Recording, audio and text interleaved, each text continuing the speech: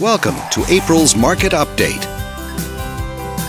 Let's take a look at residential real estate activity in your area during the month of March.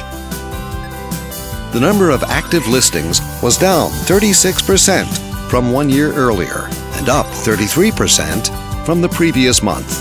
This recent increase reflected a larger selection of homes for buyers to choose from. As you can see, the median listing price for the month was just over $150,000. Compared to last year, the average number of days that units spent on the market before being sold was up 40%. This higher number of days may signal a slowdown in the local inventory turnover rate.